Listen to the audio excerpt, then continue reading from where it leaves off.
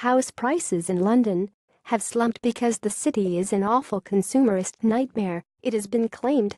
After it emerged that London property prices were falling at an unprecedented rate, experts said this could be because it is a ghastly, depressing place full of adverts and bastards.